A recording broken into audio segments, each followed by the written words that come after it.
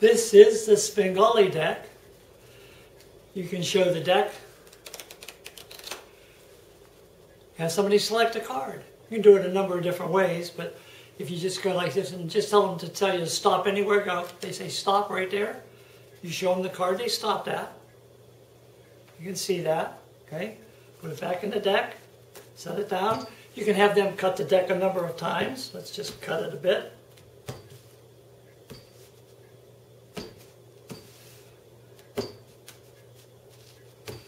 Okay, now what I'm going to do is I'm going to split the deck into four decks, or four piles.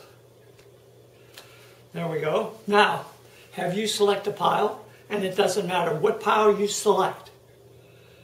You have free choice, one, two, three, or four. Of course, I would say, what would you select? And if I could hear you, you might say, pile three. One, two, three. That's pile three. You did not select four, three, or one. So we'll just get rid of those. And you selected pile three. The top card of pile three is, in fact, the card you selected. That is one of the effects with the Svengali deck. It comes with a number of effects that you can do to amaze everybody. That's the Svengali deck. Hope you enjoyed it.